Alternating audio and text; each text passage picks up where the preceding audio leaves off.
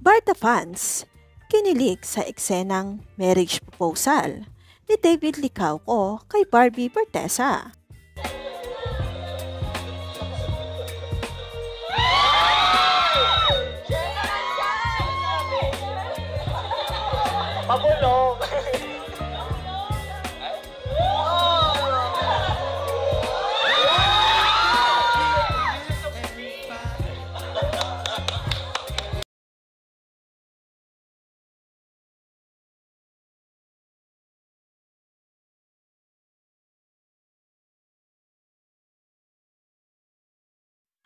Hello guys! Welcome back to my channel.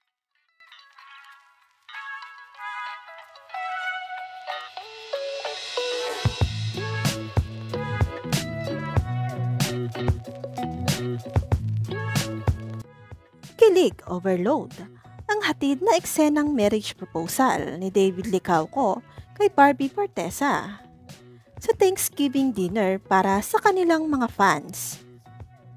Sa Chika Minute Report ni Aubrey Carampel sa GMA News 24 oras noong Miyerkules, makikitang lumuhod si David sa harap ni Barbie para sa ending ng kanilang The Way You Look At Me music video.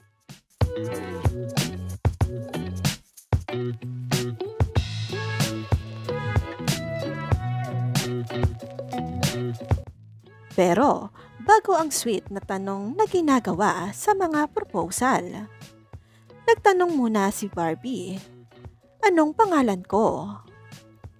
Sambit ni David, Binibining Clay, maaari mo ba akong pakasalan? Si Clay ang karakter ni Barbie sa kanilang hit series na Maria Clara at Ibarra. Habang si Fidel naman ang karakter na ginampanan ni David Licauco.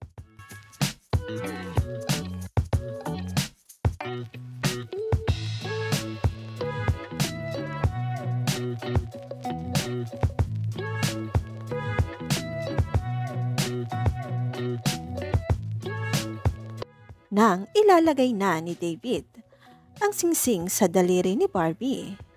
Nagpiro ang aktres ng, ah, di pa ako nag-yes.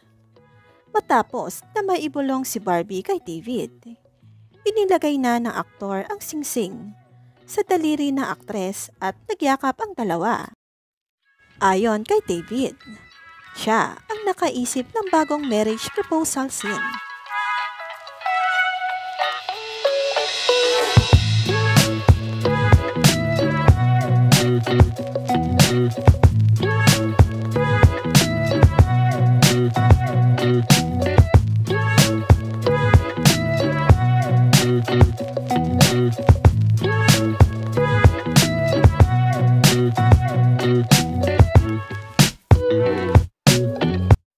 Parang inisip ko lang maganda sigurong gawin. Actually, papakasalan. Parang gusto na kitang pakasalan. Ganon. Paliwanag ng binata. Ginawa ni na David at Barbie ang intimate Thanksgiving dinner sa fans dahil sa natanggap nilang suporta sa kanilang The Way You Look At Me music video na meron ng 1.3 million views.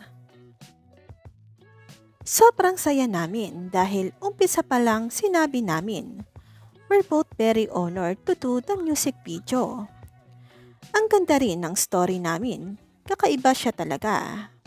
It's very heartfelt. Ani Barbie. Lahat ng to ay dahil sa fans na sumusuporta sa aming dalawa ni Barbie. So, super thank you. Tagtag ni David.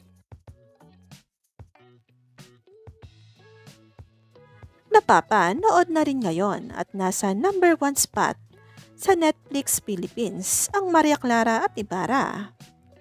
Nakamit din ng series ang bronze medal sa 2023 New York Festival for Entertainment Program Drama.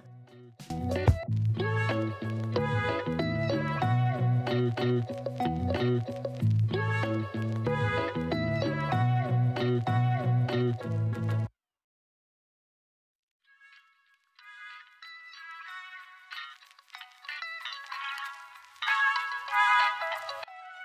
And that's for all now mga kastartok.